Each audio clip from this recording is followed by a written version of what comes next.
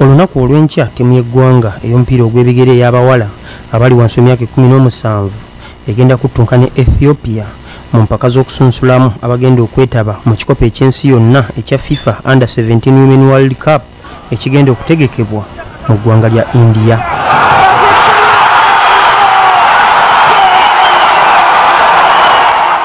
Omupiira guno gugenda kuzanyibwa ku kisaawe ekya st mary stadium ekitende era gugenda kubeera gwa luzannyo olusooka ng'olw'okuddiŋŋana lugenda kubeerayo mu bbanga lya sabbiiti bbiri mu ggwanga lya ethiopia. Omutendesi wa uganda ayubu kalifa agamba bamaze akabanga akawerako mu nkambi nga batendekebwa era mugumu nti bagenda kuwangula omupiira guno. Tutegeka okusamba tiimu sinyango tuzanyeko nayo wanda 20 tuzanyeko nayo wanda 17 owala mupiira bakumanya bakuzanya bulungi ekyensuubira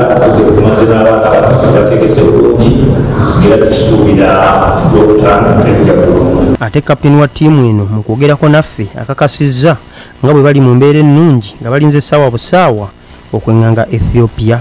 Ono agamba ekigendererwa kyabwe kyakuyitamu kuzannya mu mpaka ez'akamalirizo. Amawanga 16 ge gagenda okwetaba mu mpaka ez'akamalirizo ezigenda okuzannyibwa mu ggwanga lya india okuva nga 11 okutuuka nga 3 omwezi ogw'ekkumi omwaka guno